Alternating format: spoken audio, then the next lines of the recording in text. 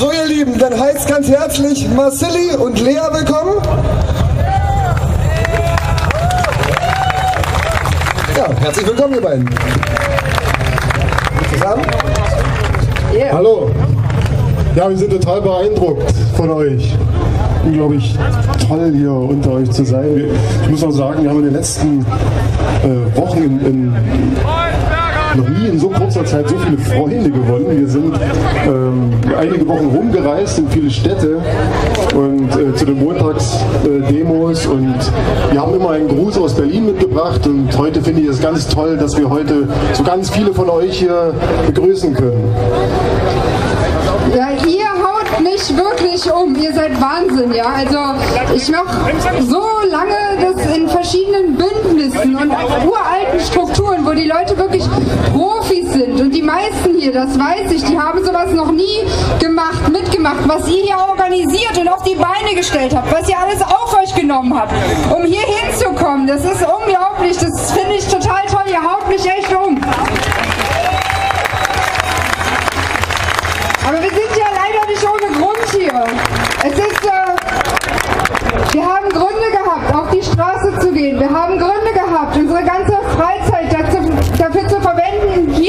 sein. Am 3. Juni 2014 ein verheerender Raketenangriff auf Lugansk wird auf mehreren Videos dokumentiert und im Internet hochgeladen. Ein ukrainisches Kampfflugzeug beschießt ein Regierungsgebäude. Auf einem der Videos sieht man eine Frau mit abgerissenen Beinen, die um ein Telefon bittet, um ihre Tochter anzurufen. Augenblicke später ist sie tot. Es ist der Beginn eines Luftkrieges der ukrainischen Armee gegen die Menschen in der Ostukraine, die der Chef der neuen Regierung in Kiew, Yatsenyuk, als Untermenschen bezeichnet hat. 19. Juni 2014. Hunderte Menschen sterben bei weiteren Luftangriffen im Donbass. Im Internet macht das Bild eines getöteten Mädchens die Runde. Es ist kombiniert mit einem Bild, das das Mädchen einige Tage zuvor zeigt. Auf dem Bild hält es ein Schild in der Hand. Auf dem steht in kyrillischen Buchstaben Donbass. Ich lebe im Donbass. Bitte rettet mich. Luftkrieg in einem modernen Europa. Unfassbarer Terror. Tausende Tote. Zehntausende Schicksale. Hunderttausende Flüchtlinge. 29. Juni 2014. Ostukrainische Kämpfer sollen beim Überfall auf einen ukrainischen Militärstützpunkt ein Buk-Raketenabwehrsystem erbeutet haben. Im Internet vermelden sie, der Himmel von Donetsk beschützten jetzt Buk-Raketen. Ob diese Meldung wahr ist, verliert sich im Dschungel der Meldungen. 12. Juli 2014. Der Befehlshaber der ukrainischen Antiterroroperation meldet, dass durch Luftschläge in Dzerzhinsk nahe Donetsk 1000 Separatistinnen getötet wurden. Derweil wehren sich die ostukrainischen Verteidiger und schießen auch auf Flugzeuge. Mit aller Härte ist ein Luftkrieg ausgebrochen. Westukrainische Flugzeuge, die angreifen. Ostukrainische Verteidiger, die Flugzeuge abschießen. Keiner kann sicher sein, dass Raketen nicht auch Verkehrsflugzeuge in 10 Kilo 10.000 Kilometern Höhe treffen können. 10 Kilometern. Wir wissen es nicht. Es gibt verschiedene Interpretationen, verschiedene Sachlagen.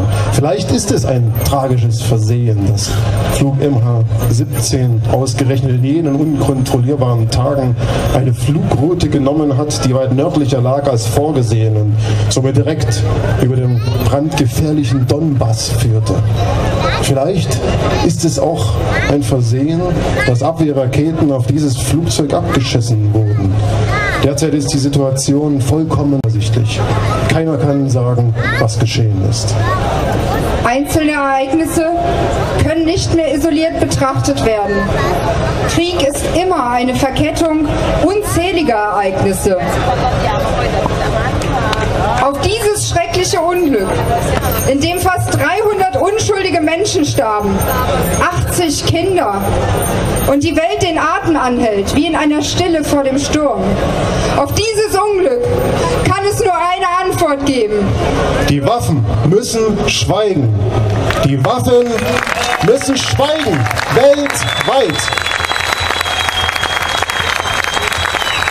Sie müssen schweigen in Palästina, in Gaza, im Irak, in Syrien, in Nigeria, Afghanistan, im Donbass. Die Antwort der Politiker Beschuldigung, Rechtfertigung, Drohungen, weiteres Öl, das ins Feuer gegossen wird. Die Reaktionen der Politikerinnen zeigen vor allem eins. Sie sind nicht mehr in der Lage, die Welt zu stabilisieren. Im Gegenteil, sie bringen sie zum Kentern.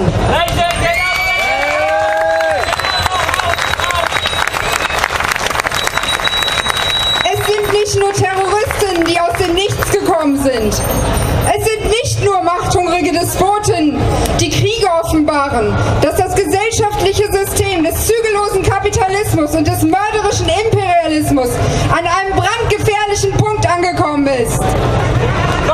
Funktioniert nicht mehr. Es ist krank. Und wir müssen es verändern. Doch es gibt Zeichen der Hoffnung. Immer mehr Menschen begreifen es.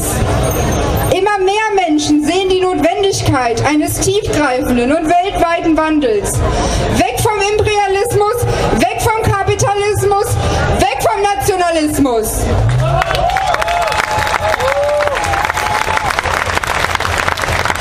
Weg von einem System, auch einem Geldsystem, das den größten Teil der Menschheit immer ärmer und abhängiger macht.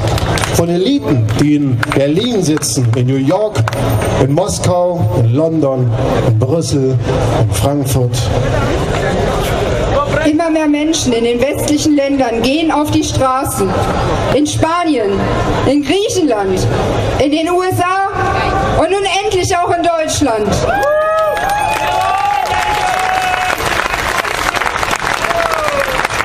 Sie gehen auf die Straße für Frieden, Freiheit und Gerechtigkeit weltweit.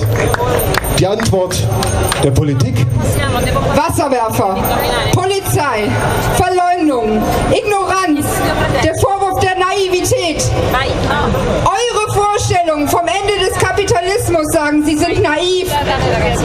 Die Welt ist viel komplizierter, als ihr denkt, sagen sie. Eure Forderungen sind unrealistisch. Aber Bomben auf unschuldige Menschen sind nicht kompliziert. Sie sind real. Sie explodieren und sie töten. Und wir hier werden es niemals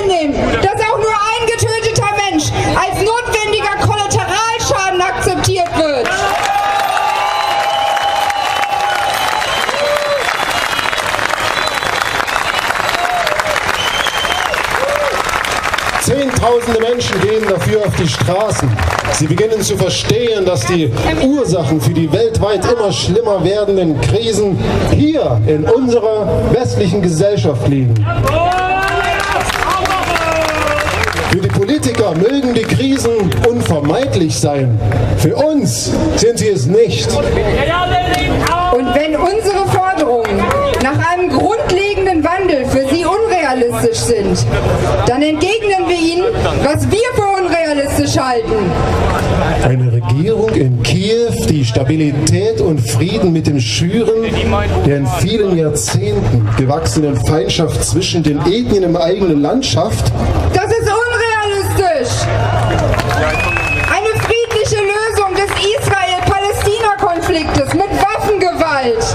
unrealistisch. Einfache, im Grunde friedliche Menschen, die durch westliche Angriffe Verwandte und Freunde verlieren und dadurch nicht traumatisiert und letztlich auch radikalisiert werden, Das ist unrealistisch. Terroristinnen, die aus dem Nichts kommen. unrealistisch. Drohnenangriffe, die Frieden schaffen, Unrealistisch.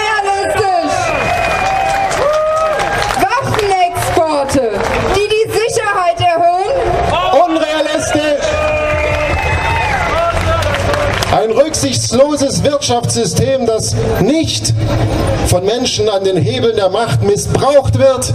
Unrealistisch! Ein von Banken kontrolliertes Geldsystem, das nur den Menschen dient. Unrealistisch!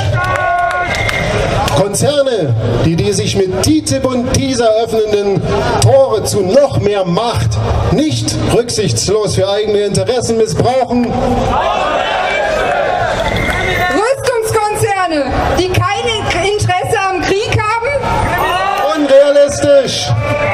Rücksichtsloser Raubbau in der Natur, der folgenlos für uns bleibt. Kapitalismus, der uns in eine goldene Zukunft führt.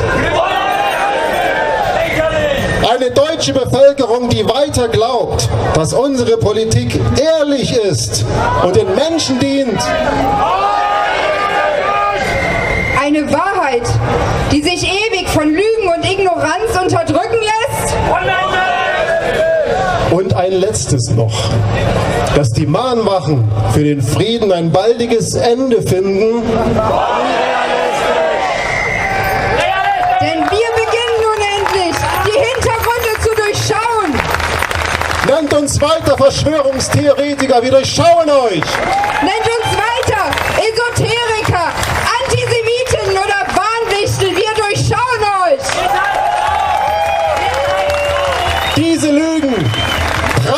uns ab, weil sie durchschaubar sind. Sie führen nur dazu, dass immer mehr Menschen den Vorhang durchschauen, mit dem Leid und Zerstörung verdeckt werden soll.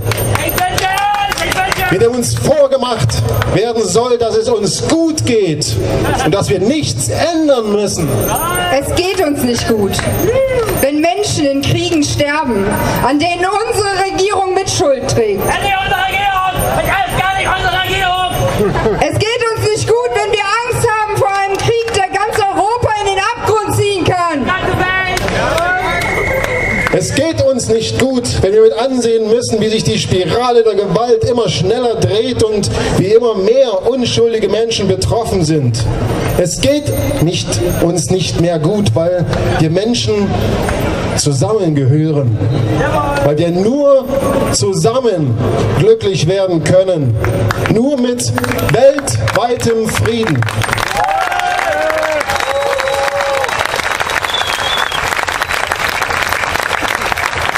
Und wenn in der Ukraine ein unschuldiger Mensch stirbt, dann trifft uns das.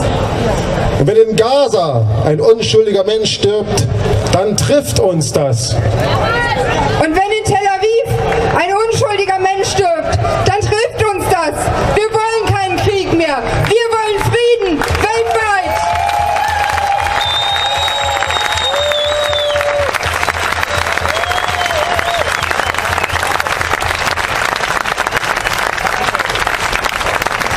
Wir reichen allen Menschen die Hände, auch denen, die für die derzeitige Situation Verantwortung tragen. Kein Mensch handelt nur aus innerem Antrieb heraus. Jeder einzelne Mensch ist geprägt durch die Umstände, die ihn zu dem gemacht haben, was er ist. Wir bekämpfen keine Menschen, selbst wenn sie Verbrecherinnen sind. Wir wollen das System verändern, das Menschen zu Verbrecherinnen macht. Wir wollen, dass immer weniger Menschen dazu werden, zu Wir Verbrechern. glauben, einer der Schlüssel für Veränderung liegt in der Abkehr vom derzeitigen Turbokapitalismus, der Millionen, Milliarden Menschen abhängig macht, der sie bindet und blendet und sie gegeneinander aufbringt. Wir brauchen, wir brauchen ein System, das wieder Kooperation belohnt und nicht Wettbewerb.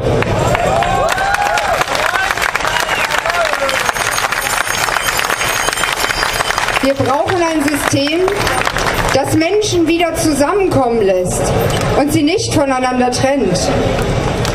Wir brauchen, wir brauchen Brücken und keine Mauern. Wir brauchen einen Neuanfang. Wir wollen einen Neuanfang. Wir können einen Neuanfang.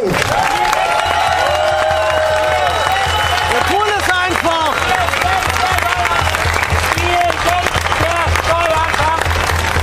Und das ist die Botschaft der Mahnwachen an die Menschen. Kommt zu uns. Die vielen tausend Menschen auf über 100 Mahnwachen in ganz Deutschland sind keine Gruppe. Wir sind keine Partei. Wir sind die Menschen.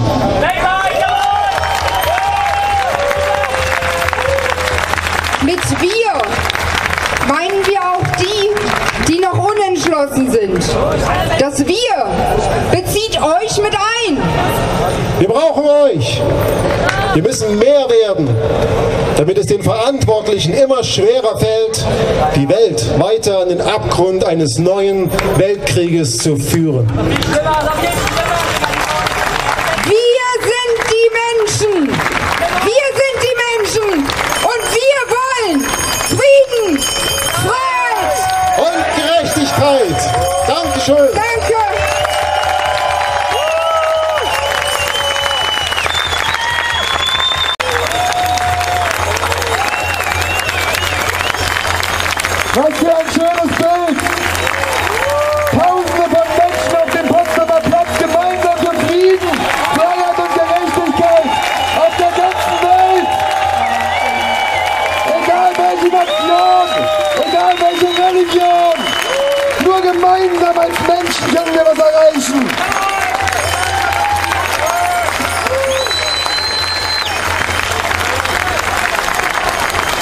Ihr Lieben, kommt hier ran!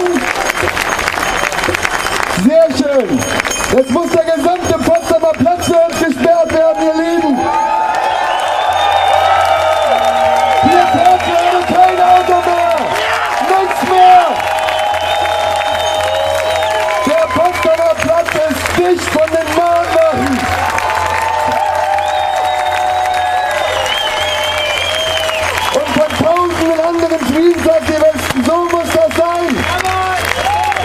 Gemeinsam für ein Ziel.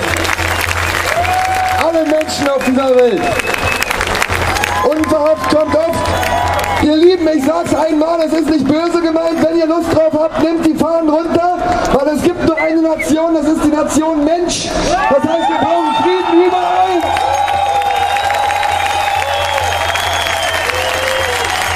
Herzlich willkommen auf jeden Fall. Jetzt geht's weiter, weil wir haben schon eineinhalb Stunden